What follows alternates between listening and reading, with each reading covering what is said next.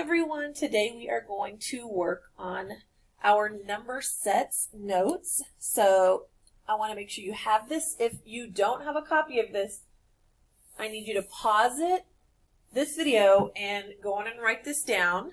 And when you're writing, make sure that you have one, two, three, four, basically four concentric circles here. Okay? So if you have the notes, we're going to get started. So we're going to talk about these. You've probably heard of all of these, except you might not remember natural numbers. So natural numbers are basically your counting numbers. And I'm going to put that number sign, counting numbers starting at 1. Okay, so basically 1, two, three, four, dot, dot, dot. So no decimals, no fractions, nothing. Okay? So those are natural numbers. So I'm going to move this, but I'm not going to erase that. So your natural numbers are actually like our smallest set. Now there's still an infinite number that goes in here, but I'm going to go in and put natural. Okay, that's like our smallest set. So if you think about it, the first number that would go in here would be 1. Okay, not 0, 1. So if you need to pause the video to get this, that's fine. Just keep pausing it as you need to in case I'm going too fast for you. Now, see if I can line this up correctly. I might not be able to was not working. So I'll just erase it. So one, two, three. Okay. So whole numbers are basically the same thing, but they start at zero. Okay. So counting numbers. Starting at zero. Okay. Or you can say natural and zero, okay? So whole numbers would be zero, one, two, three, and we just keep going, okay? So remember right here, these are natural. I'm to try not to move this since I couldn't get it back. Okay, and then whole. So I want you to listen to what I'm going to say and see if this makes sense. So natural, that's our smallest set. It starts at 1. Okay. But 1 is also a whole number. But the smallest set that it goes in is natural. That's the smallest, what we call subset of numbers. Okay. So whole starts at 0. 0 cannot go here. So the smallest subset that 0 can go into is whole. Okay? So, make sure we understand that. So the next one would be 2, right? So 2 could actually go in natural. And 2 could go in whole. Notice that. Okay, so these are basically the same thing, except whole starts at 0. Okay? Some people don't like to say counting numbers starting at 0 because they don't consider 0 a counting number, but I'm adding in the word or the number zero for that, okay? So sometimes they'll just say natural and zero. I'm just trying to make it make sense in your brain, okay? So integers are your whole numbers and their negatives, okay? So remember, negatives will be less than zero, okay? So whole numbers would be like zero, one, two, three. But then when I say and their negatives, so the opposite of 1, negative 1, okay? Opposite of 2, negative 2. So I can keep going, okay? So notice again, we still don't have fractions, we still don't have decimals, okay? So I'm going to put integers here.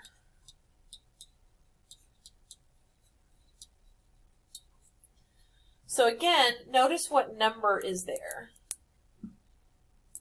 So 1 could go here, but remember the smallest set is, is the natural numbers for 1. So 1 is natural, but it's also whole, it's also an integer, but natural is the smallest subset that it can go into. Okay? Now, integers also have negative, so I could say negative 1. I could say 0. I could say negative 100, okay, because it keeps going. Um, I can also say negative 1,000, negative a million. It doesn't matter. Positives and negatives. Now, I can't put something like negative 1.1, okay, because that has a decimal, so that does not go into integers, okay. Okay, and last of all, we have rational numbers. This one you might need a little more room. I'm going to actually change my pen to write a little smaller. So rational numbers, and I know this is, I'm sorry, this is kind of a long definition, is any number that can be written as a fraction. And this is where it gets kind of, it could be confusing. Don't let it confuse you. A over B. I mean, that looks like a fraction to you, I'm sure. But it's going to say where A and B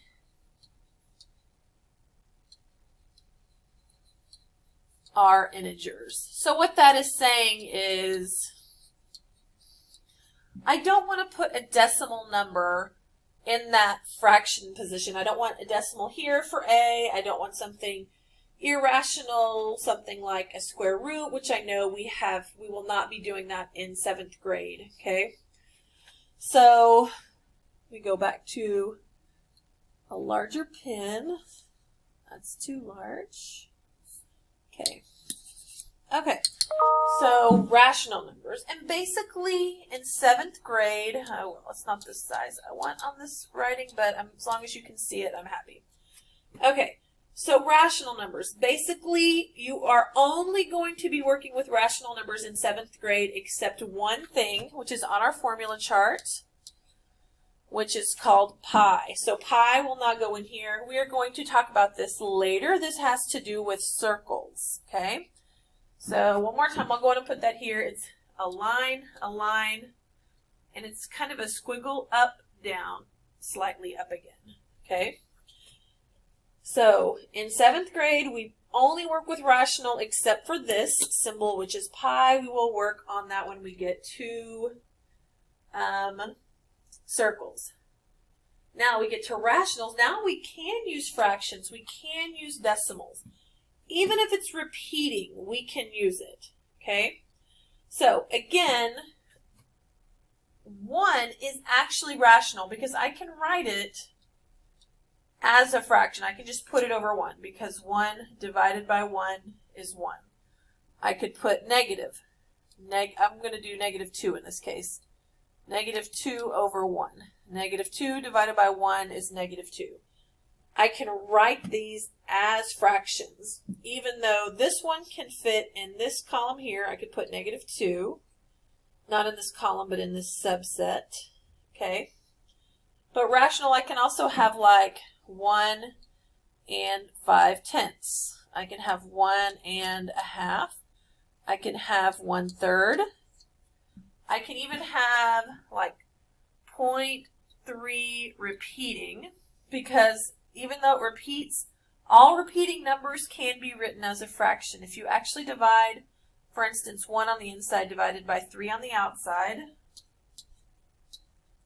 you will end up getting this number. So repeating numbers um, also are considered rational, okay? You might see it this way, uh, 0 let's say one, one, two, three. If you see those ellipses, that's the same thing as if it's repeating. okay? So you might see me use these if I'm using um, certain documents where I cannot put the line on top. I hope that makes sense to you, okay? So when you have the dots, just like here, that means it keeps going, and our fancy word for that is, we call it ellipses, okay? So in this case, we're going forward, 1, 2, 3, 4, 5, 6, 7, 8, negative 1, negative 2, negative 3, negative 4, negative 5, so we put it backwards. So, natural, whole, integers, rational. Okay, so if you need to, I'm about to pause, I'm about to um, erase this, so if you need to pause it to write it, do that. I also have it written here, so I can come back to it if I need to. Now what I'm going to do is decrease the size of this so that we can see um, all of this. Perfect. Okay. So, I'm going to put my words back in here. So, natural. Remember, natural starts at 1 whole integer and rational. Okay? So we're going to place these in here.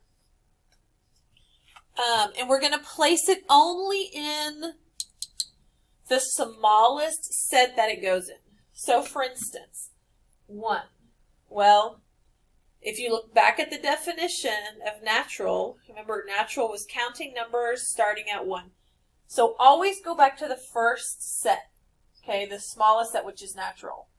Okay, natural starts at 1, then it keeps going. It's counting numbers, no decimals, no fractions, okay?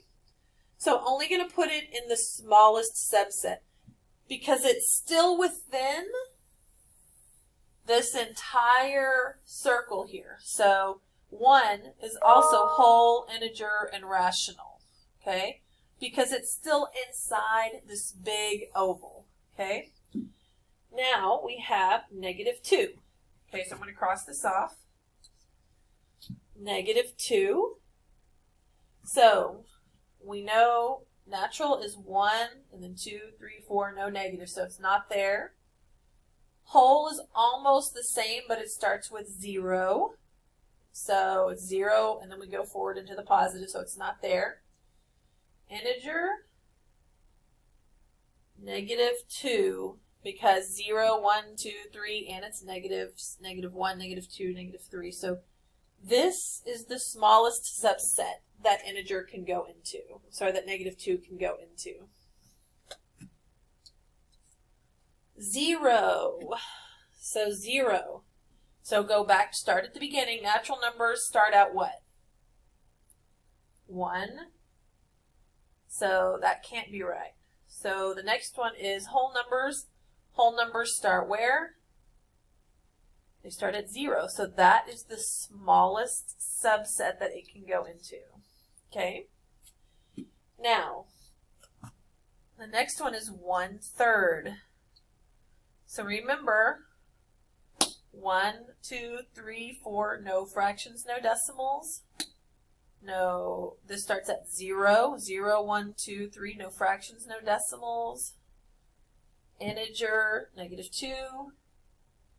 So 0, 1, 2, 3, negative 1, negative 2, negative 3, no fractions, no decimals here. Rational is the only place that we can put fractions. Okay, fractions that don't equal into like a whole number. And I'll explain that here in a minute. Okay, so one third, this is a proper fraction, proper fraction. So I'm going to put one third. Okay, last one over here, and then I'm going to have you do these. Actually, I'll help you with one more. 10 over 2, so think of 10 divided by 2.